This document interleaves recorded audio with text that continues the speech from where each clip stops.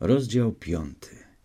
Śmierć kapitana okrętu, jego wdowa wysyła nową wyprawę do Gwinei, przyłączam się do niej, rozbójnik morski, bitwa. Powróciwszy do Anglii i odebrawszy pieniądze z kasy za złoty piasek, zamyślałem natychmiast do Hal pojechać. Od znajomego londyńskiego kupca, którego spotkałem w stolicy, dowiedziałem się, że moi rodzice żyją, ale Martwią się niezmiernie, nie wiedząc, co się ze mną stało, tym więcej, że im doniesiono, iż okręt, na którym odpłynąłem, zatonął pod miastem Yarmouth. Natychmiast więc poszedłem do portu i dałem zadatek sternikowi odpływającemu do Edynburga, który obiecał wysadzić mnie w hal. Wypadało tylko pożegnać dobrego kapitana i podziękować mu za wszystkie dobrodziejstwa. Ale któż opisze moje zmartwienie, kiedy przybywszy do jego mieszkania, zastałem biedaka w okropnej gorączce, prawiącego od rzeczy, a żonę w największej rozpaczy. Na drugi dzień po powrocie zachorował tak niebezpiecznie, iż doktorzy żadnej nie robili nadziei.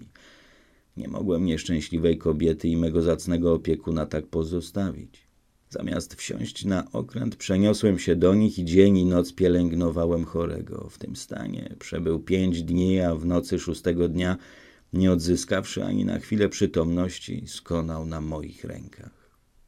Trzeba się było zająć pogrzebem, bo rozpaczająca żona nie miała sił o tym pomyśleć. Pochowaliśmy nieboszczyka z wielkim smutkiem. Umierając, prawie nagle zostawił interesy swoje w wielkim nieładzie. Wdowa strapiona nie mogła się nimi zająć. Spędziłem więc jeszcze parę tygodni pomagając w tej sprawie bratu zmarłego.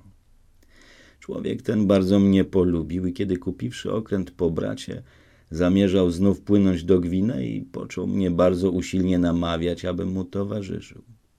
Nie trzeba było mi tego dwa razy mówić.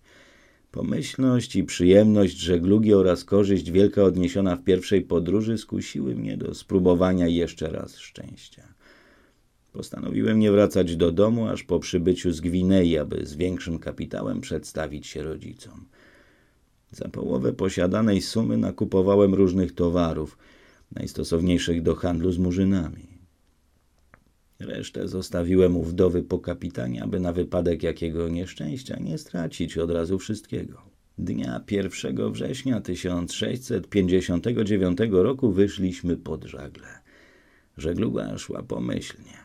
Wprawdzie nic nieznacząca burza spotkała nas na odnodze biskajskiej, ale wyszliśmy z niej bez szkody. Już brzegi Europy znikły nam z oczu i wszystko zdawało się zapowiadać szczęśliwe przybycie do celu podróży, gdy wtem na wysokości Lanceroty, jednej z wysp kanaryjskich, Majtek, będący na straży w bocianim gnieździe, dał znać kapitanowi, iż jakiś wielki okręt ukazał się na wschodzie i płynie wprost ku nam. Kapitan wdarł się na maszt i przekonał się, że to statek berberyjski, ścigający nas pod pełnymi żaglami. Zamiast skierować się ku Lancerocie i w tamtejszym porcie szukać ocalenia, jak to roztropność nakazywała kapitan, ufając szybkości okrętu, kazał rozpuścić wszystkie żagle i płynąć na południe.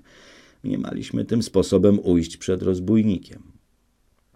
Wkrótce jednak okazało się, że korsarz prędzej od nas płynie i za kilka godzin niezawodnie nas dopędzi. Natychmiast więc przygotowano się do obrony. Dziesięć armat okrętowych nabito po części kulami, w części zaś siekańcami. Naokoło wielkiego masztu ułożono stos pik, toporów, szabli i kordelasów oraz kilkanaście nabitych muszkietów. Było nas dwudziestu ośmiu. Na pokładzie statku korsarskiego przeszło siedem razy tyle, a osiemnaście armat wychylało swe paszcze z boków. Około południa rozbójnik zbliżył się na odległość strzału działowego – Wywiesił czarną flagę i dał ognia ślepym nabojem, wzywając do poddania. Kapitan kazał zwinąć część żagli i zatrzymał się nieco, a gdy rozbójnik, tym uspokojony, zbliżył się ku nam, powitaliśmy go nagle wystrzałem ze wszystkich dział. Kule dobrze wymierzone potrzaskały mu tylny maszt, a siekańce zawaliły pokład rannymi i trupami. Pozdrowiony tak niespodziewanie począł spiesznie uchodzić – Byliśmy pewni, że zrażony dzielnym przyjęciem nie odważy się ponowić napadu, ale rozjuszony korsarz nie popuścił tak łatwo zdobyczy. Około trzeciej po południu dopędził nas na nowo i tym razem, trzymając się w odległości, w jakiej go nasze kule dosięgnąć nie mogły, począł z działa wielkiego kalibru raz po raz dawać ognia. Kilkanaście celnych strzałów obezwładniło nasz okręt, a wtedy z wielką szybkością przypadł i mimo ognia z dział zahaczył nasz okręt. Sześćdziesięciu maurów z gwałtownością burzy wpadło na pokład. Daliśmy do nich ognia z muszkietów, a na zmieszanych tą salwą wpadliśmy z rozpaczą i wyrzuciliśmy z pokładu. Lecz rozbójnicy z podwójną siłą uderzyli powtórnie. Po krótkiej, zaciętej walce, pomimo wysiłku i męstwa, zostaliśmy pobici. Kapitan, sternik i ośmiu z obsady padło trupem. Reszta otrzymała rany i musiała się poddać Maurowie. W obu spotkaniach stracili przeszło trzy razy tyle ludzi. Korsarz, złupiwszy okręt, podpalił go, a nas zaprowadził do Salé, miasta portowego na zachodnim wybrzeżu marokańskim. Wyszedłem z tej bitwy bez szkody, pomimo że walczyłem na równi z innymi. Towarzyszy moich powieziono w głąb kraju i tam zaprzedano w niewolę. Mnie upodobał sobie właściciel rozbójniczego okrętu i jako niewolnika zatrzymał. Utrata wolności i przejście nagłe z kupca na niewolnika zgnębiło mnie niezmiernie. W czasie obu podróży i pobytu w Londynie nie pomyślałem wcale o przebłaganiu rodziców. Teraz na nowo zabrzmiały mi w uszach pamiętne słowa ojca. Kto nie słucha rodziców, temu nigdy Bóg błogosławić nie będzie i marnie zginie. Przepowiednia ta ziściła się zupełnie. Chwila kary nadeszła. Byłem najnieszczęśliwszym z ludzi. Oddalony o kilkaset mil od ojczystej ziemi, niewolnik na wpół dzikich Mahometanów, bez pociechy i wszelkiej pozbawiony nadziei, oddawałem się strasznej rozpaczy.